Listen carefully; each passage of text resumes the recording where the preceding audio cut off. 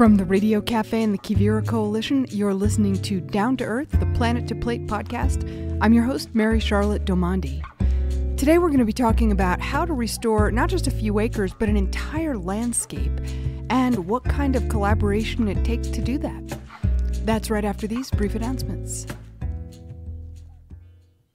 This program is sponsored by the Agrarian Trust. Agrarian Trust is charting a new path forward for the land trust movement.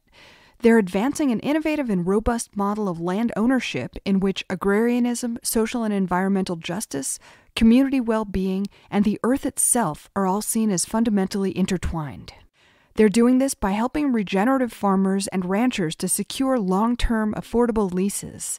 That helps to strengthen local food systems and to transform community relationships to the land across the country. Visit agrariantrust.org to learn more. This program is sponsored by the Greenhorns. Listeners to Down to Earth might enjoy the newly released sixth edition of the New Farmer's Almanac, a literary miscellany written by and for working agrarians. This year's volume is titled Adjustments and Accommodations, and it's full of essays, poetry, and images that explore how people are facing challenges and uncertainties on the land. Learn more and order your copy at greenhorns.org.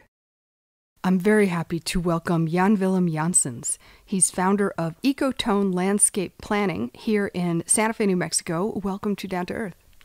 Thank you, Mary Charlotte. I'm glad to be here. Great to have you. You're doing incredible work. We're talking about landscape level ecological restoration, which you're doing here in northern New Mexico. You are the director of Ecotone. What does the word ecotone mean, and what do you actually do? Yeah, so Ecotone is a small consulting firm here in Santa Fe. I'm the owner and principal. Ecotone, as a term, means the transition zone in a landscape, the transition between lower and higher, wetter and drier. So now Ecotone is, as a consulting firm, looking at management planning and implementation planning of land. We're planning and designing with natural processes and people, connecting people to the land, and trying to cultivate stewardship among people for the long term, careful, and knowledgeable care and, and restoration of land. And not land as a picture, but land in all its processes. And so, as a living entity. You're doing landscape scale restoration. What do we mean by landscape? So, yeah, what I mean with landscape is a larger area that forms and feels like an ecological whole.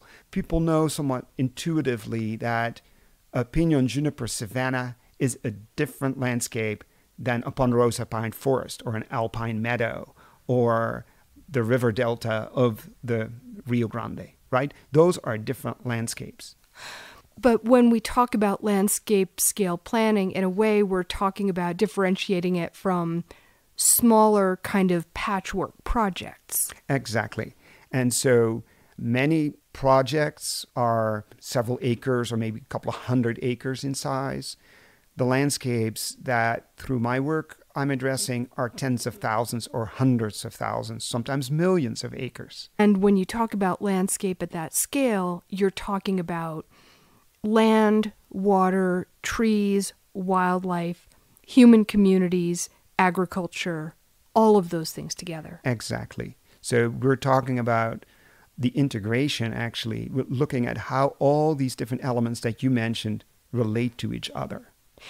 And when you talk about doing landscape restoration on a landscape scale in northern New Mexico, what you're talking about is that there have been places, that there are places that have been quite badly degraded over the last couple of hundred years. What does that look like?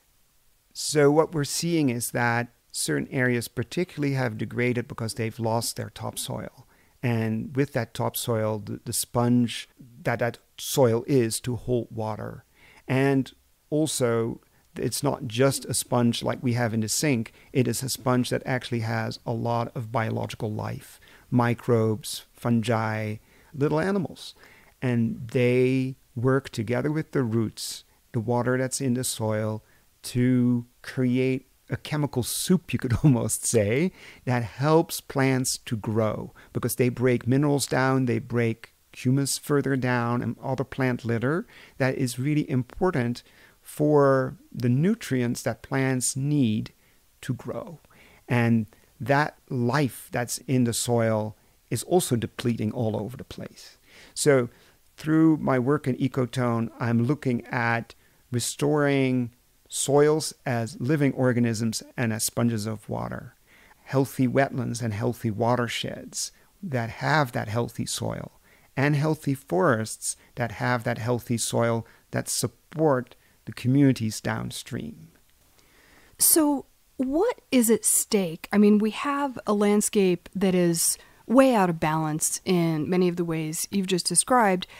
What is at stake for communities, for people, if this imbalance is not addressed and remediated? In other words, if these landscapes aren't restored?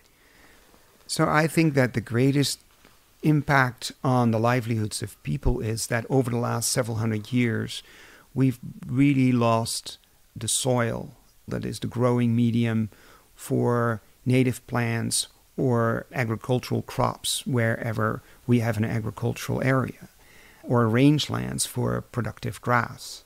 And so, with that soil sponge being lost, the landscape is much more likely to dry out because it cannot hold as much water. The water runs off more quickly, concentrates then in lower places, causing erosion. And so, this entire cycle of degradation of land and soil loss has gradually picked up more and more steam over the last couple of hundred years. Because, like, the less soil you have, the faster water runs down Correct. instead of being absorbed, and that just continues the vicious cycle. That's right. Yeah. So, you are taking on this incredibly daunting task of restoring these landscapes. I mean, it's impressive and sort of almost unimaginable, but I mean, how do you restore soil over such a large area? I know there are certain soil health principles. What are they and how are you using them in these big areas? So I think it's important to, to say first that you, as you mentioned me, is not just me. I work in and with networks of people, and I do that on purpose. And so I am part of a large network of networks of soil health stewards and, and champions of conservation champions, of foresters, of watershed restoration professionals. And there is a growing awareness, I think, in the last decade that we need to start looking at larger landscapes, at watershed scales, at entire forest ecosystems to be more effective in the face of climate change and the extinction we're dreading right now that is threatening our livelihoods and our landscapes. I've always had a holistic, integrated perspective on planning. And through my parents' interest in or profession in geography and, and geophysics, I was brought up with the idea that yeah, the landscape is this very large, complex set of geophysical and biological and human activities that interact with each other. As a kid of three, four, five, we had these conversations around the table. So that actually spurred me, I think, to study landscape architecture and all the interactions that are happening in the landscape. And I've brought that to the United States when I came here 30 years ago and always tried to add this larger integrated perspective to what I did. And always tried to ask why and where and how things happened historically and in terms of cause effect relationships across the landscape. Restoration for me doesn't mean that we go back to one particular time in the past, because over time the landscape evolved and was shifting. And so it's really important to understand what the natural processes are, and that restoration often means that we need to restore natural functions of ecosystems, of fire, of soil regeneration. I love the idea that you're not restoring to a single time and place, but you're restoring to the processes of the natural systems. And then once those are restored, the landscape will restore itself to whatever the conditions are now. Exactly. And I can give examples of that. So I've been working for many years in various places where the erosion control work that we did across hundreds of acres have gradually accumulated sediment behind hundreds of structures that were built. Small rock or wood structures that were harvested locally. They often don't have to be big, but it's the cumulative effect of many of them that accumulates sediment behind them and that then helps spread the water. And then that water starts flowing again, maybe for the first time in decades, over open grassland or woodland, re irrigating those areas. And then you see after a good summer or fall that plants start to rebound. Now, these are incredibly low tech things that people do. You place a rock, you place a log or a, a, cut branch or something like that on the ground. They are very low tech. Actually, they are very much inspired by what native people used to do, either here or in Mexico. And they have been documented by various people like Bill Zeedyk, a teacher of many of us here in northern Mexico, but many other people too. And we've learned from native people over time as well. And so taking these techniques that are very sophisticated but simple structures of rock that hold the level of the soil, that accumulate soil behind it, that slow and spread the water. Those are the techniques that actually are very helpful in these landscapes. And what you see then is that water infiltrates, spreads, gullies heal and fill up, and the landscape once again starts to have and grow this soil sponge that is so important for the regeneration of natural plant material that then again provides habitat for wildlife and downstream provides more gentle flows of water, not flash flooding, so that the farms have a gentler flow in their acequias, which is benefiting enormous amounts of people. And just for our listeners who may not know, acequias are the traditional irrigation dishes that they use here in northern New Mexico and also in Spain and some other countries as well. Correct, yes. Mm-hmm. So when you use these techniques of placing rocks and wood and, and structures on the ground to slow the water and the soil builds, what is it building from? What are the materials that go into making the soil under those circumstances? Ah, thank you for that question. That's a great one. So, how that works is that you first get material that's eroded from upstream. When you say material, what do you mean? Rocks? Stones? Sand, Sand, gravel, Sand. very fine particles of, of mineral. And they also include particles of organic matter, little broken down sticks, needles, leaves, twigs. So, what happens then is that you gradually build up that soil of that mineral material that has washed down from somewhere else and that is mixed with some organic matter that's already in the soil. And because water infiltrates more readily into that sediment material, it stays a little longer. And because seeds, many native seeds, are still in the landscape, they then can sprout. And then when plants break down and when the roots break down as a result of microbes that are in the soil, you grow that organic matter in the soil that we often call humus. And so that becomes food for other microbes in the soil, and you start building a living soil in what used to be a depleted mineral soil. So basically, these the sort of sand and minerals get mixed with plants that grow roots and then when all of that breaks down the combination of the sand and the the roots and the plant material as it decomposes creates soil. That's right. And it, it, it is mostly the decomposition of the root material and the organic matter that's in the soil itself.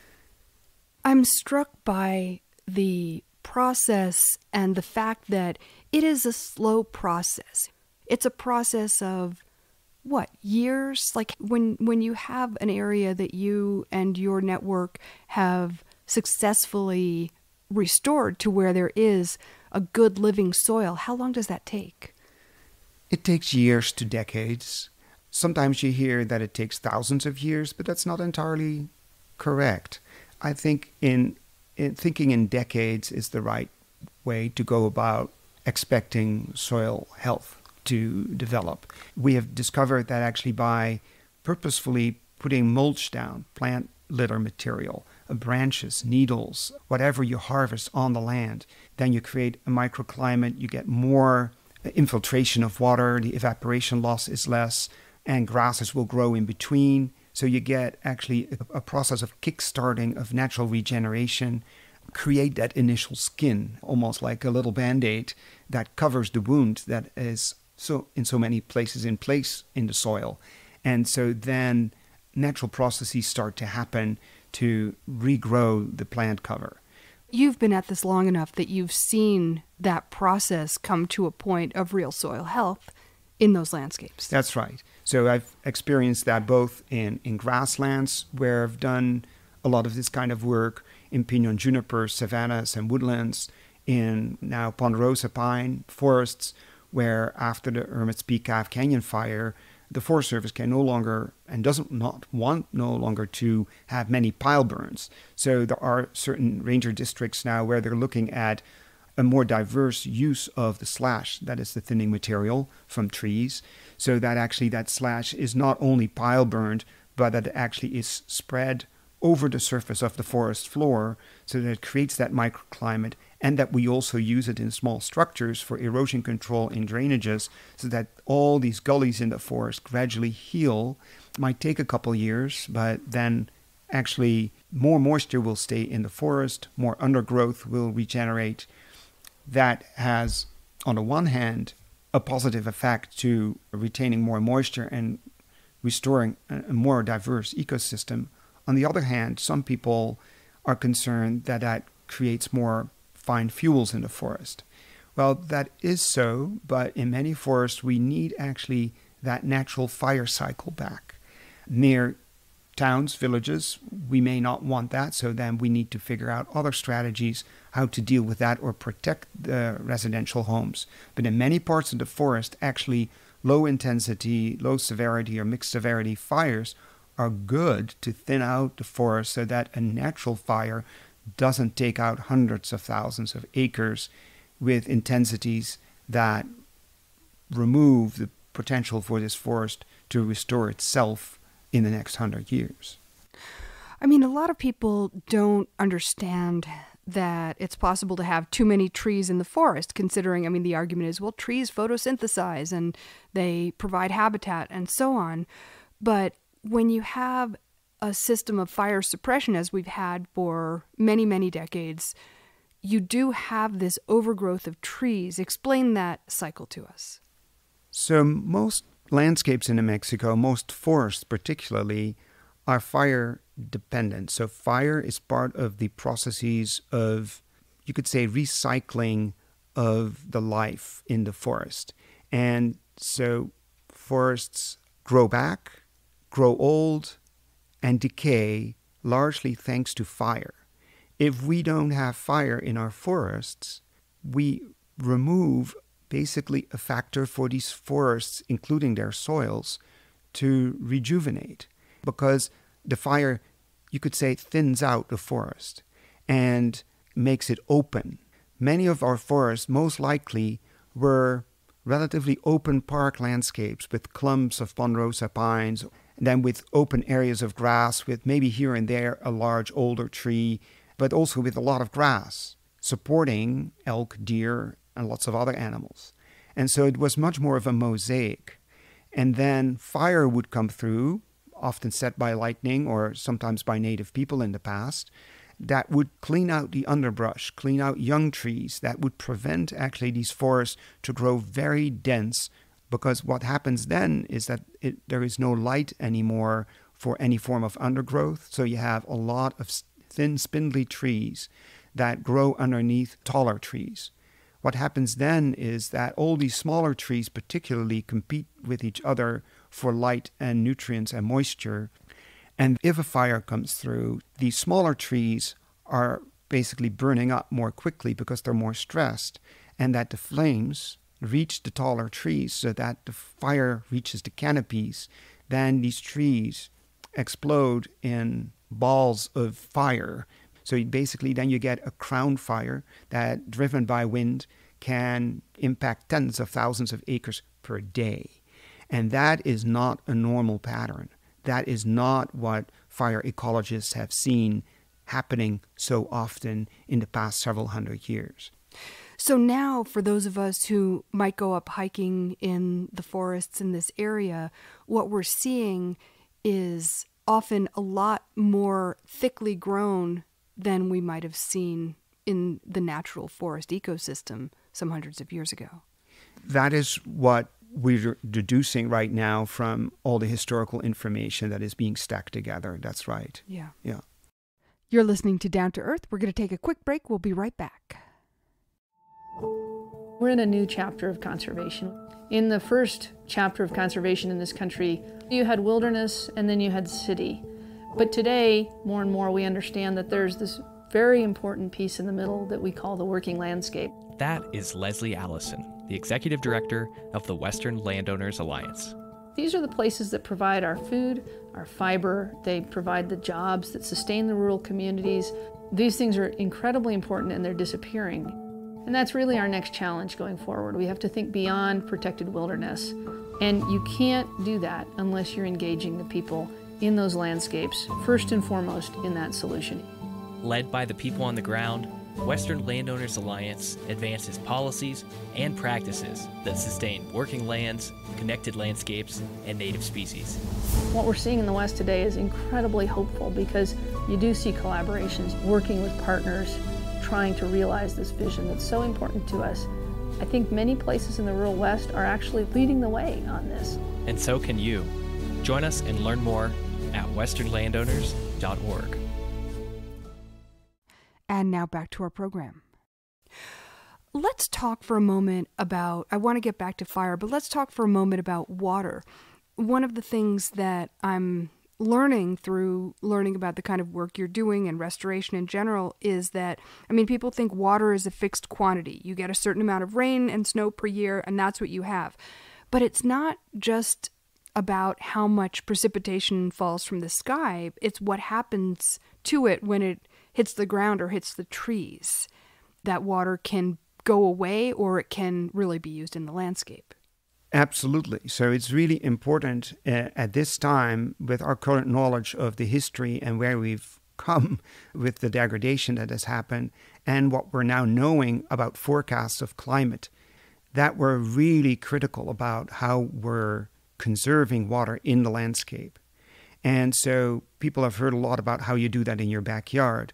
But the knowledge how to do this at a landscape scale is still pretty much in a research phase. Now, in the backyard, it might consist of using mulch and sort of terraforming your yard so that water flows in certain patterns. Exactly. And so many people who have yards have now been learning a little bit about how to make the water from the sky or that falls that you collect from your roof more effective so that it stays in the soil and you can still have some vegetation around your home. Now, we need to get those principles applied across the landscape. And so, what I want to mention first is what I think I contribute to a lot of the work here, uh, for which there is really a need and, and funding, is to add landscape scale management plans. So, in the late 1990s, uh, the state of New Mexico and the Federal Natural Resources Conservation Service got together to launch watershed based planning throughout the state of New Mexico. So we have now a history of 25 years of watershed planning. Before that, it wasn't there. There wasn't any planning at a watershed scale. Also, with the start of the, the national forest systems with forest plans in the 1980s, we started to see the first large scale planning of forests so that we now have forest stewardship plans for hundreds of thousands of acres where we can plan for all these issues like how much fire is tolerable, how much fire is not, and what do we do to prevent that high intensity fire? How much water do we want to keep in the landscape? Where can we accommodate the need for grazing in the landscape? How do all these factors work together because too much grazing removes the fine fuels, the grasses and shrubs that we need for low intensity fires across the landscape. If it's not humid enough in the forest, we have a greater risk that fire will explode into something that we can't control. So, those are just small examples of how everything holds together. And if we don't uh, manage the landscape well, then that sponge that I was talking about, that is the soil, will again deplete and erode and cause sedimentation downstream that diminishes the productivity of farmland. So, it is really important to start looking at how things hang together and figure out where it is possible to optimize the harvesting of water in the landscape. Harvesting of water, what do you mean by that? So that water that comes down through snow and rain doesn't rush down right away. Snow in open sun sublimates. That means it goes directly from a solid state in a gas state. So it's like the it's like evaporation but of snow. Yes, exactly. So, and that is happening, and studies throughout the world are now grappling with that problem of how can we keep more snow on the landscape. For the long term water supply security in New Mexico, we need to really think about retaining more snow.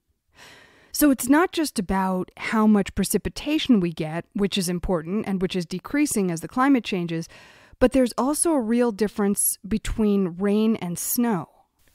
Absolutely. So and we have this big problem that with climate change, we get in certain periods, in certain years, just less water.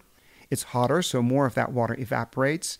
And when it falls, it falls more in the form of rain, so it rushes off more rapidly. And we have less snow, and that is more important for, for actually the water that we use on the land for agriculture or even drinking water in certain communities. In northern New Mexico, even if an area has about 50% snow, 50% rain throughout the year, the really usable water comes from snow. We get 65 to 85% of our water through snow. So maybe the precipitation that we get is 50% rain, 50% snow, but a lot of the rain falls either in drizzles that evaporates right away or it falls in major storms that are so concentrated and pick up so much sediment that it is cost prohibitive to capture that all at once and purify it. So it is really important that we focus on snow retention because if it's well retained and melts relatively slowly, it generates a more steady flow of water over many months between February and April, May, so that communities, farms, ranchers can use that water much more beneficially. So I recently did a study for the Cimarron Watershed Alliance in northern New Mexico, where they got a Bureau of Reclamation grant for water conservation. One of their key questions in that was how can we store more water in the forest, in the mountains? Now, climate change impacts research has shown that we are losing the snow component in our landscape. So there is a critical, urgent question how do we hold more snow in our mountains? Well, other studies have shown that actually so much snow ends up on the top of the trees, never reaches the ground. So if actually that snow stays on top of the trees, it cannot infiltrate into the soil because the majority of that snow goes directly up in the air through evaporation. And so it is really important that we manage our forests so that more of that snow can hit the ground. Now, that is all very complex how you do that. But there are forestry techniques that lead us to get more snow on the ground. And studies from how areas that burned in a moderate manner show that with the residual trees, we get more shade on the ground. Residual and trees? The trees that stay in the forest that have not been burned and removed due to fire. So they cast a shade pattern on the ground. And because the winter sun is so low, that casts actually a pretty long shadow. So that is actually very useful because then you can create openings in the forest that are optimally shaded. There, the temperature is 10 to 15 degrees lower. Overnight, it freezes, so there is very little water loss, a snow loss, right? You need to make the openings that you cut in the forest and also so small that the wind cannot have any grip on the snow. So, if you combine those factors, then you can figure out how you actually harvest trees in the forest to create more small openings so that actually you optimize the amount of shade in the forest so that more snow can stay on the land, infiltrate very gently and gradually into the soil, and then trickle through shallow aquifers down the slope and down the mountain. The benefit of that also is that it all doesn't melt with the first warm day of 65 degrees in late February, March. Because now we have the problem that we have massive snow melt happening in just a couple of weeks' time in, between late February and March. So if we have snow that melts more gradually, has a lower, longer melt out date, as it's called, then we can have snow that stays in the forest until April or May, like it was before. Not that we get as much snow as in the past, but we need to optimize that. So, is this something that you all are actually doing? It's beginning to happen, yes. So, um, and is um, it working?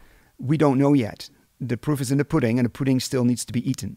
Funding has been set aside now to start implementing forest treatments that would reduce fire risk in those high mountains and increase snow cover in the mountains. Just tell us a little bit more about these, what you call treatments. I mean, do these involve, are you talking about basically cutting down trees?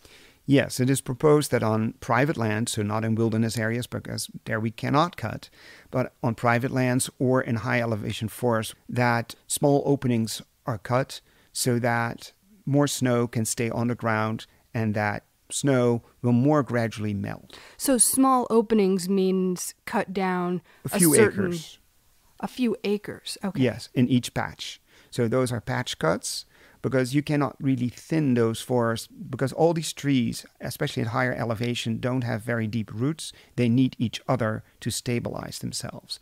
And there is much higher wind higher up, so you need to really create openings that are optimally sited and placed across the landscape so that the impact of wind is minimal and snow capture is optimized. To what extent is the kind of restoration that you're talking about compatible with a forest industry? In other words, can people make use of these trees and and sell the wood? And is that I mean, it's always dangerous when you get industry involved because their goals may be really different from the goals of conservation, water harvesting, and restoration. Yeah, thank you for that. That's really important. Eventually, I think, and that is also part of the landscape scale planning, it is really important to start looking at the local economies. And so it's essential that over time, the harvesting is in balance with the utilization of the wood in a local economy because there is, in many places, way too much wood to even leave it in the forest. And because we can use that material for the rebuilding of a local wood products manufacturing industry, we should gradually build that up again. And so, utilization of that material, stimulating local jobs, improving infrastructure to get the logs down to the industries is really important. In New Mexico, we've largely lost our forest products industry in the last 30 years. And so, building that back up needs to go step by step so that the landowners and public agencies that control the flow of wood from harvested operations in the forest forms a guarantee over multiple years for the supply of wood to investors that invest in these wood products industries. But also, our roads are not strong enough for big logging trucks. We need to also start thinking about road improvement, electricity improvement. And then in many northern New Mexico communities, once these industries start picking up, we need to start looking at housing for people, schooling for people, services that make towns that are reinvigorated lively again. Because we have lost a lot of population in northern New Mexico. Taos County, Rio Arriba, Colfax County have seen basically a decline of population or a standstill over the last 30 years. But again, let's say you build up an industry. I mean, these are private industries. How do you see to it that what they are doing is compatible with the goals of restoring landscape ecosystems? I think that needs to be done in a planned way so that you, with the communities and the counties, in ongoing dialogue, set the goals for economic parameters and economic growth, and that all the different elements are kept in check and in balance with each other. And that is a hard conversation because the open market system of the United States is not always conducive from a political perspective to such a very planned economy. But that is eventually the best way to do it. And that is my personal perspective on this, and that maybe has some historical European uh, right. I mean, background. When, when Americans hear planned economy, they think of communism and the kind of catastrophes of, of those economies. Yeah, and I think that is based on a lack of insight and knowledge about that there's a huge world of opportunities between strict top down communist and socialist systems and a planned economy that a country like Germany has that is totally acceptable for many people in this country. Right, right. Let's talk about some of the success stories that you've had. One of them is beaver reintroduction. There are places where beavers have been reintroduced at first to the chagrin of residents, but then later, not so much. Yeah. So, one example of that is that Santa Fe County asked me seven, eight years ago. Uh, I was invited to help them think through a series of management plans for county open space properties. Uh, Santa Fe County has about 6,600 acres of open space, over 30 sites, and several are really jewels. And one of them is the Los Potreros uh, wetland open space uh, behind the Santuario de Chimayo. Those areas used to be a balance between wet meadows that originally were also used by the local population for certain forms of agriculture or turning out foals and, and horses. Uh, potrero means foal pasture. So, upon studying that and making a management plan for that entire area, we saw that the riparian areas were drying out. Riparian areas are basically the riverside vegetation, and that they were uh, drying out because the creeks were digging into the landscape, getting deeper and deeper. And that also led to problems for getting water in the acequias there locally.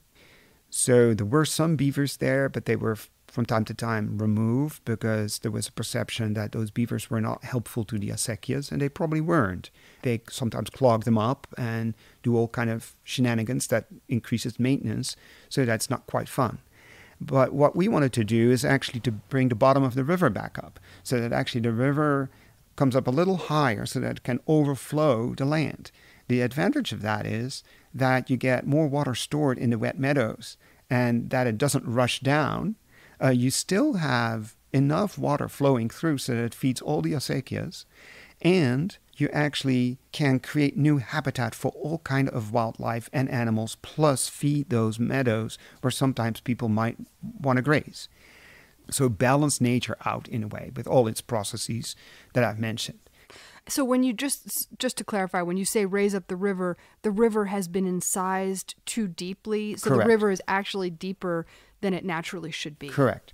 And so in in 2017, the county already worked on redoing all the diversion dams there so that they could hold more uh, water back and get more water into the acequias. But that was just not enough to also prevent the dying of all the cottonwoods and willows on the banks. And so we submitted a proposal to actually start restoring parts of the Rio Quemado.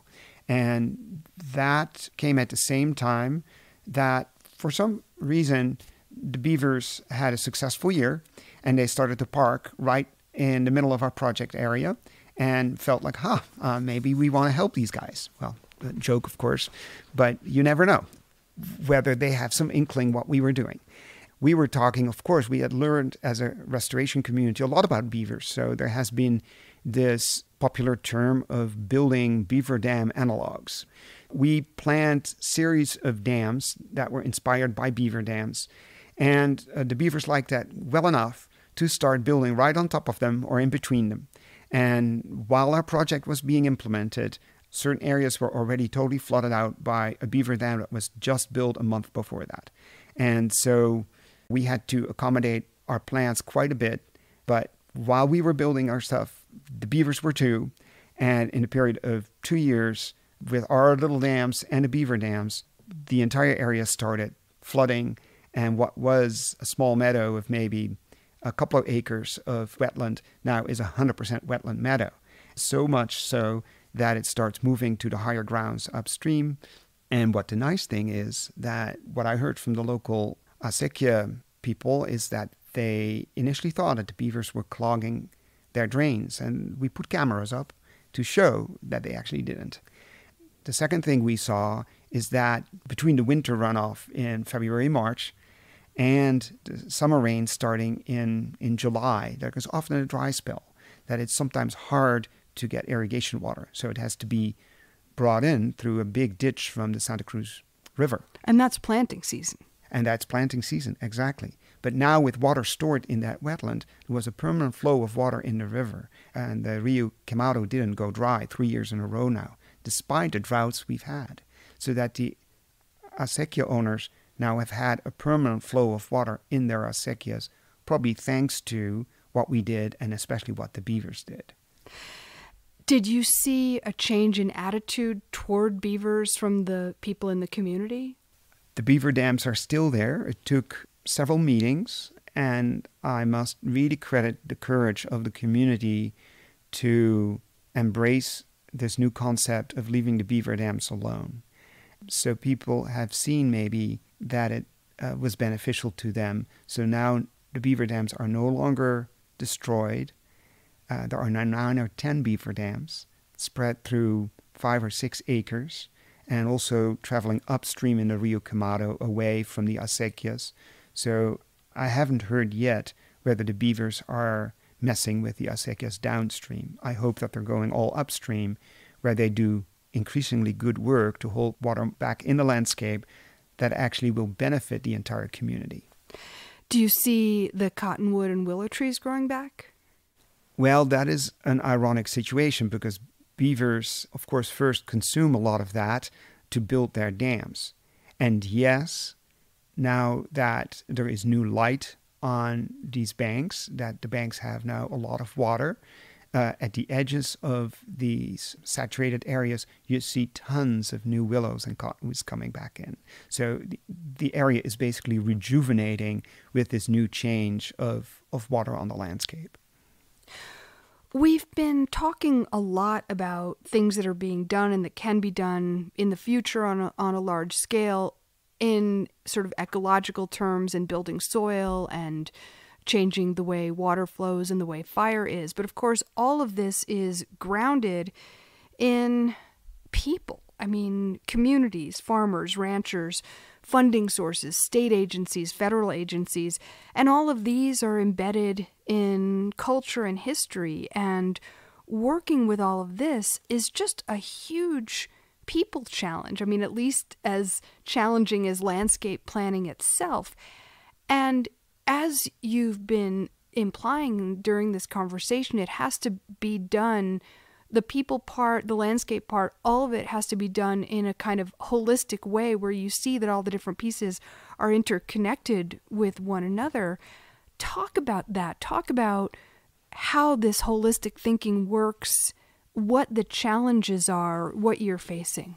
Hmm, thank you for that question. That is wonderful. Uh, I think that it goes back to my initial observation when you talked about you. And I think the landscape planning you, Jan Willem, yes, plural, plural you in, in, the sense of we. Yes, yeah. exactly. And so, because although my firm is really small, we are working with contractors and in partnerships. That is really the essence of how we work.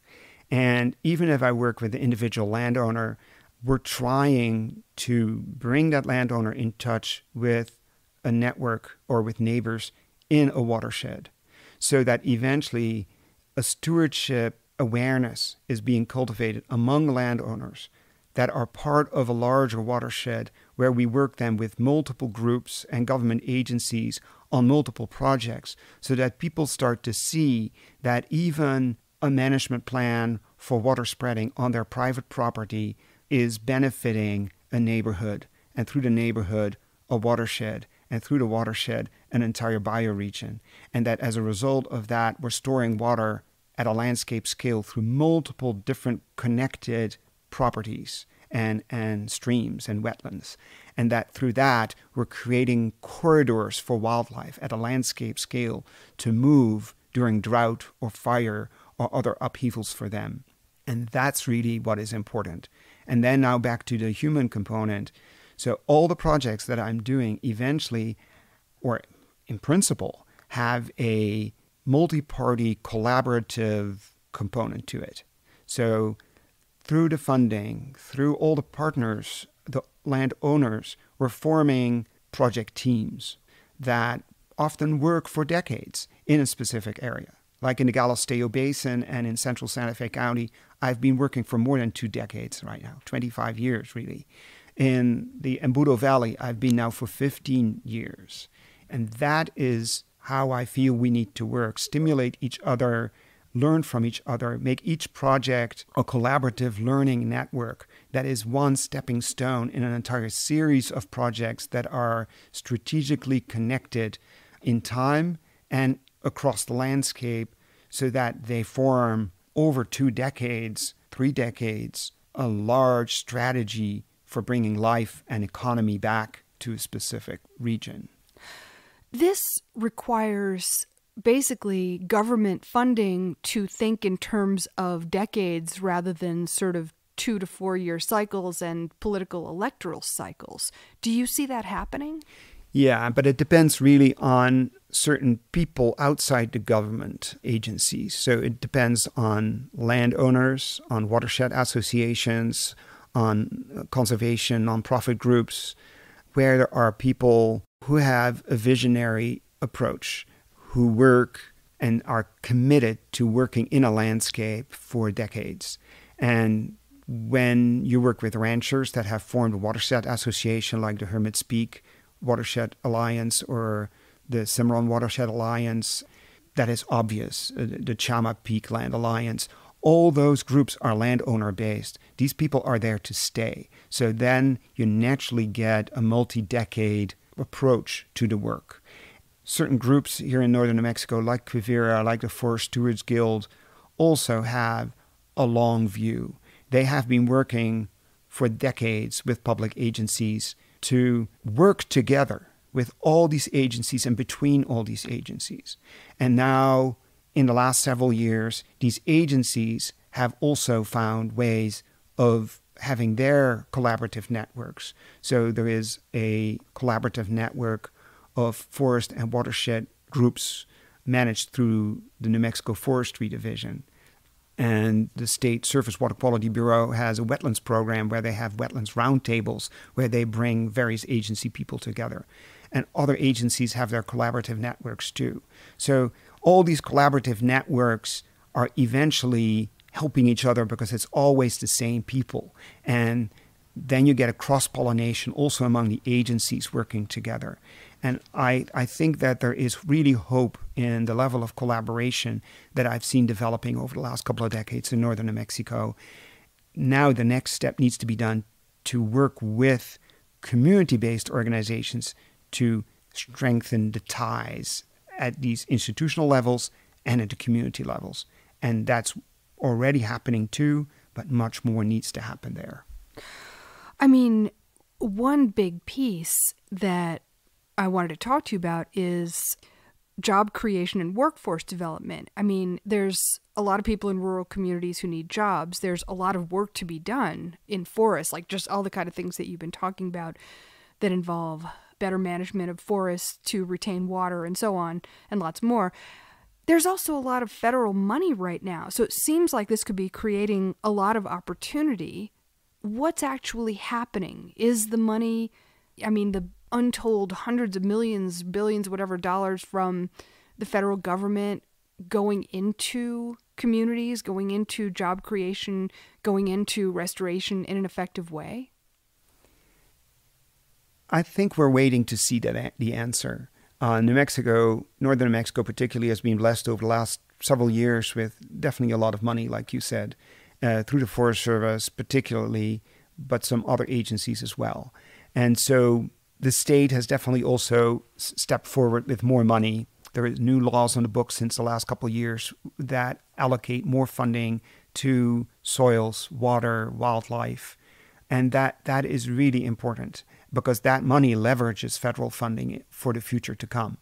And so that has set up the state and all the partners in the state that I just mentioned to work more together. Then also in the last year, uh, New Mexico Forestry Division and the Forest Service were required to work more together under the shared stewardship agreement between the states and the U.S. Forest Service. So that creates more collaboration. However, I think we're still waiting to see how all that money is being structured and organized through procedures for stimulating local economic development. And uh, I hope that we can see that happening in the next year.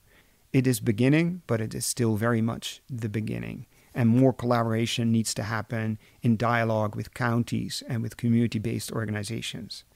And one of the big problems that I've experienced myself is that at the community level, at the county level, and the individual community level, the institutional capacity of local nonprofits, of local leadership, is just in numbers not there. And we need many more local businesses. We need local collaborative working groups and partnerships that can organize themselves to be a point of contact in the community with the federal agencies. And, and that is the weak link, uh, in my view, right now.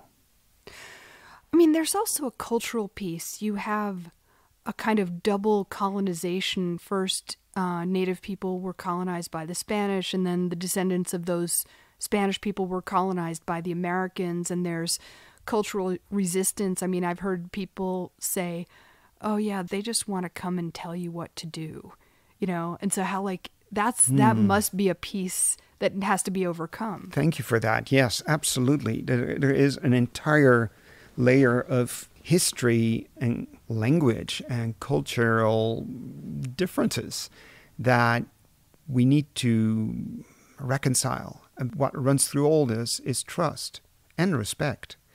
Because we culturally, from each of our background, have different histories of values and different interpretations of history. We need to really listen to each other at the local community level to understand what is important for each other so that in that listening to each other, we can come together and recognize and acknowledge the hardship certain segments of the local communities have gone through or are still in or reliving. And what they need now, what they want, what, what story they want to tell because they've not been able to or allowed to have their voices heard in a more formal context in relation to land values. And absolutely, that is important. And the structures for that to happen are limited. So we need to also create more time and forums in which that can take place and come to each other in ways that we can build trust. What are some of the ways of engaging local communities that you are working on that you have seen, you know, like workshops, educational opportunities, working with youth, things like that. Great. Thank you for that, too. It's an important piece, I think, in our work and in doing this management planning work collaboratively is to create local action teams. Nowadays, we call them core teams. Those are teams of landowners, of community representatives, of agency people that we bring together in the planning process for, say, a watershed plan or a wetlands plan or a community wildfire protection plan, so that different segments of a community, of a county, of a planning area are represented in the planning process. I must immediately say and admit to those who raise some eyebrows with what I'm saying that that process is not ideal in the sense that I've seen that we don't necessarily get equal and representative participation of all the segments of the community. And that is definitely problematic, and more work needs to be done over time to figure out how we can get better participation. And I just want to jump in and say I mean, what we're talking about is restoring land in a way that benefits those communities themselves. Absolutely. In terms of both having enough water and having jobs and having savings because so many communities And I say with mean with savings, saving of stewardship, maintenance, and repair work, because so many communities are now dealing with spending thousands, tens of thousands of dollars every year digging out acequias, cleaning off roads, digging sediment out of fields, replanting trees because they were smothered or eroded away, and so on and so on. Fire, flooding in the community, rebuilding homes, and so on. So it's like preventive of those things. Eh, preventing that. Just the infrastructural and home damage of a fire like the Hermit's Peak Canyon fire runs into billions. But a small flooding event like in Dixon or Alcalde last year or the year before runs into hundreds of thousands of dollars too. And that is all labor, time, efforts, materials that could have used otherwise if the surrounding environment were more stable. And now there is redistribution of water in many northern New Mexico communities because this early summer didn't provide the water. So if those mountains could actually soak up more water and more gently provide that water, then maybe the redistribution of water could have been postponed or averted altogether. And so there are also communities that are downstream from healthier areas. They know that because, for instance, they haven't burned or these forests have been restored. They don't have that problem. And so, in the face of these daunting problems of climate change and historic degradation of our land, it can be daunting to even start thinking about that. But many people who are in this field right now have some hope in a fighting chance that with collaborative planning and planning at a landscape scale, we can reverse some of those things over years and over decades. And that means then that from the get go, we have to work with the local communities. We have to figure out how we start dialogues in the community so that people start to see that certain forms of land use are causing problems for themselves. That running off road vehicles in upland areas causes the erosion and the flash flooding. And that is a very difficult concept to grasp. But I hope that with field tours at our demonstration projects, with community meetings, slideshows, hands on workshops where people build the structures themselves and are taught how to do it so they can also do it in their backyards, that gradually people start to see, like, oh, wow, there is maybe something in it for me or for our neighborhood, our family, our street. They begin to see that, I think, more with the larger problems like fire. More and more people really see how to treat the land to prevent fire. And I think it is gradually in some communities breaking through that they all start to see how erosion or soil health are issues that are to their benefit, or preventing erosion, that is, and, and building soil health. And that means having maybe some managed grazing patterns, having designated areas for your off road vehicles, or times of the year that you should not use them in certain areas at all.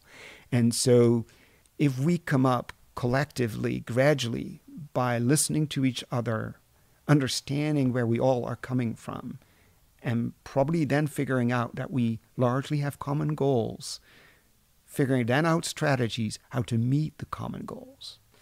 And I think, I mean, grazing is an important thing to just at least mention because overgrazing has been part of the problem, but there are ways to do grazing on that exact same land that's been overgrazed that is healthy for the land.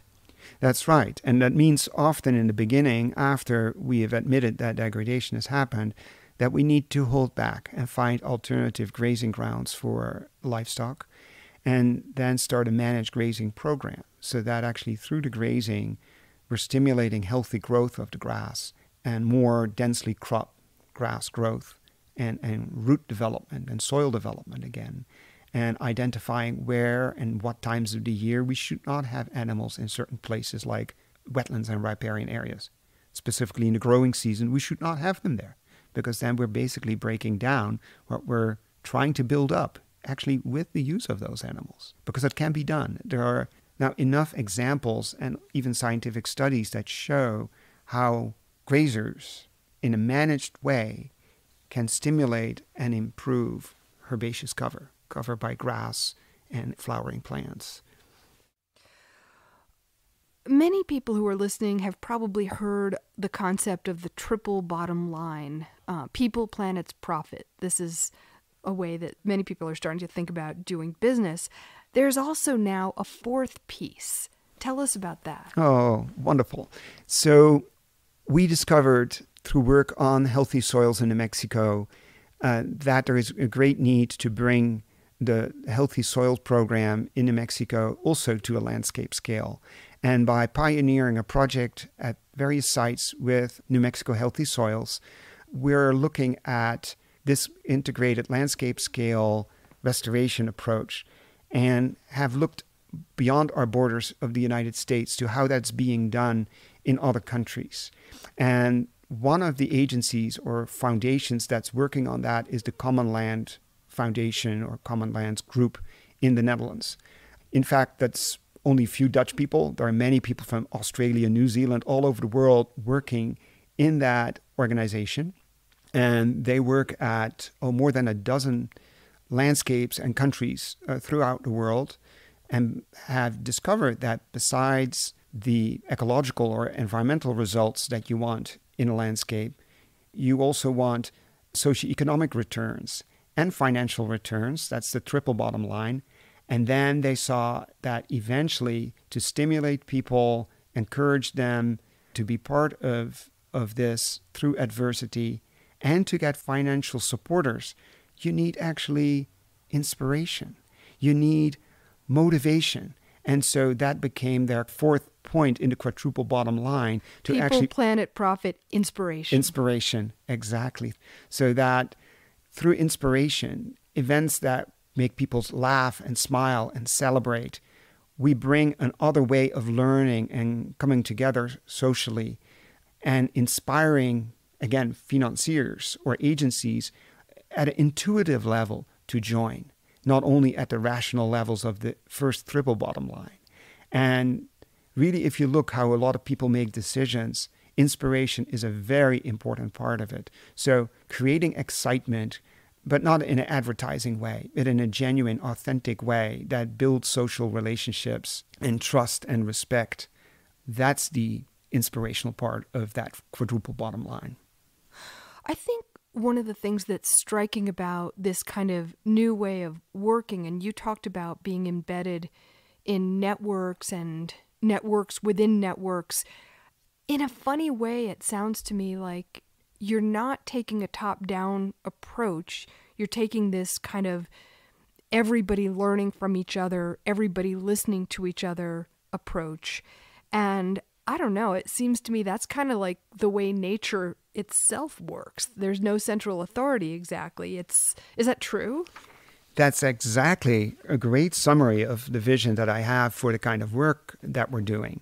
So that it is actually a very broad, flat organizational system where we all are spark plugs for each other to do the right thing and do research and experimentation, try to involve each other as partners rather than in a hierarchical setting.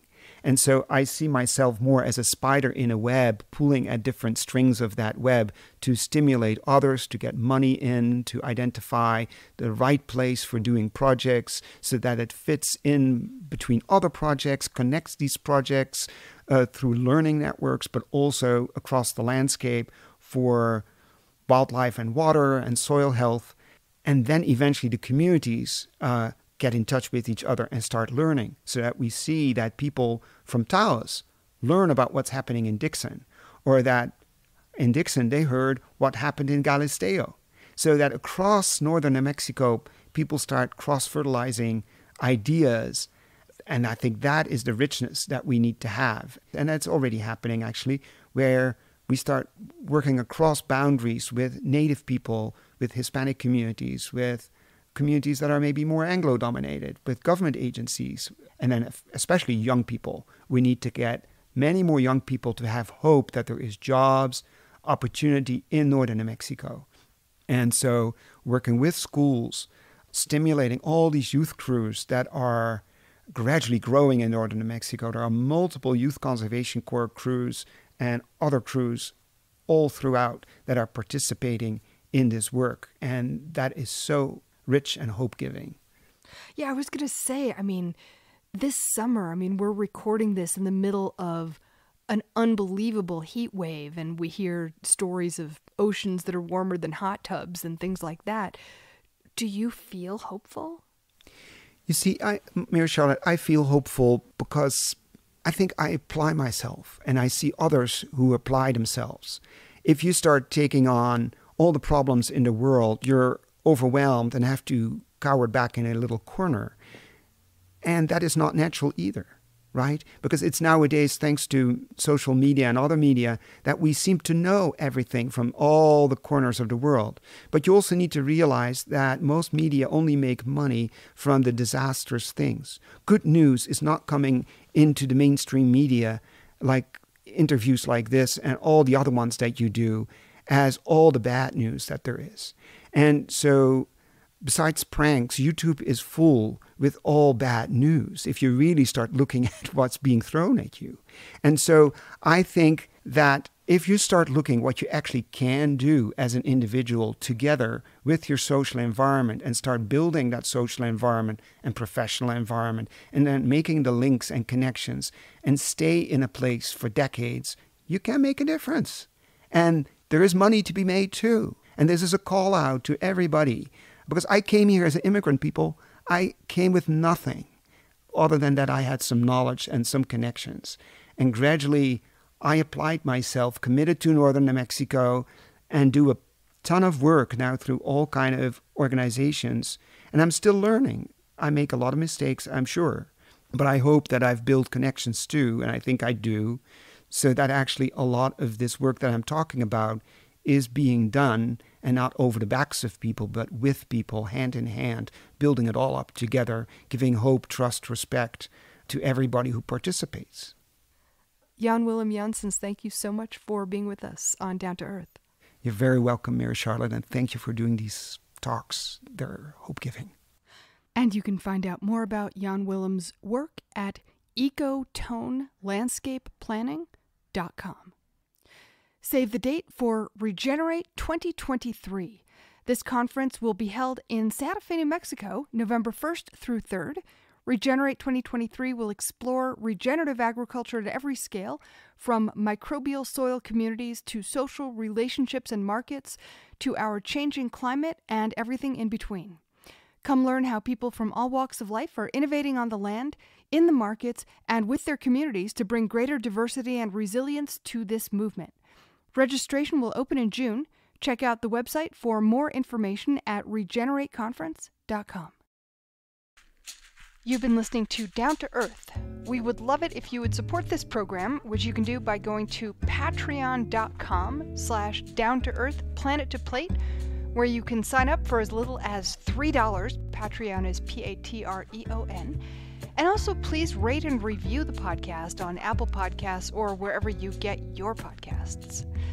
The Quivira Coalition is a not for profit and a community network of ranchers, farmers, conservationists, scientists, educators, and many others dedicated to regenerative practices that produce healthy food, support meaningful livelihoods, sustain biodiversity, and remedy the impacts of climate change. To learn more about Quivira and how you can support their work, visit quiviracoalition.org, Q U I V I R A. And finally, this show is a production with the Radio Cafe. You can check out radiocafe.org to hear back episodes of this show and also find all kinds of other shows on a wide variety of topics as well. Thanks for listening, and we'll see you next time.